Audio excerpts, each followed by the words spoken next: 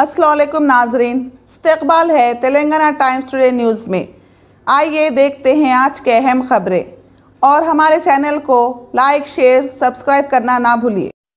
महिलाओं के साथ है। बहुत ही सालों से सेंचुरी से हमारे ऊपर जाती होते हुए आ रहा है।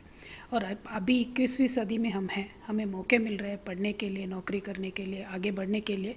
तो जब ये सारे मजहबी वाले बातें आ जाती है, इनको हवा दी जाती है तो लड़कियों के अपॉर्चुनिटीज़ कम हो जाएँगे। लड़कियों की बढ़ोतरी रोक दिया जाएगा।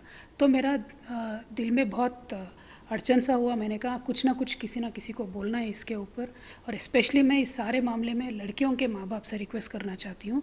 ये जो भी मज़हबी बातों को लेके चल रही है, वो चलने दें। लड़कियों को इतना स्ट्रांग बनाइए, इतना हिम्मत उनको दीजिए ताकि बाहर जाके वो ये सारे हालात फेस कर सके। और मेरा रिक्वेस्ट ये भी है, जो इन बातों को हवा दे रहे हैं, ये हिजाब की बात कर रहे हैं अलग अलग चीज़ों के बारे में बात कर रहे हैं स्पेशली जो शिक्षा के मंदिर है उनको शिक्षा तक सीमित रखिए। सियासत आप बाहर कर लीजिएगा शिक्षा के मंदिरों को शिक्षा तक सीमित रखिएगा बस इतना ही मेरा विनती है। हिजाब? बिल्कुल नहीं होना चाहिए ना। मैं औरत हूँ मैं शादीशुदा हूँ मैं जब चाहती हूँ तो मैं सिंदूर पहनती हूँ नहीं चाहती हूँ तो मैं सिंदूर नहीं पहनती हूँ।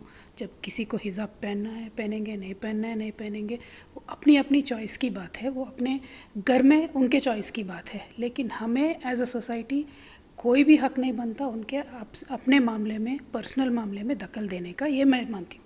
अगर मुझे कल कोई आके बोलेगा आपका पहनाव ठीक नहीं ये मत करिए वो मत करिए मैं तो बोलूँगी please mind your own business so that should be what the attitude of the women should be that should how a society should be मेरा मानना ये है कि जितने सारे मज़हब इस देश में हैं इन सबको गुल मिल के एक एनरिचमेंट होना चाहिए सोसाइटी में।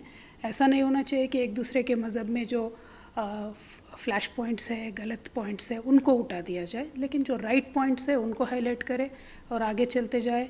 एक दूसरे में अच्छाई देखोगे तो अच्छाई दिखेगा, बुराई देखोगे तो बुराई दिखेगा।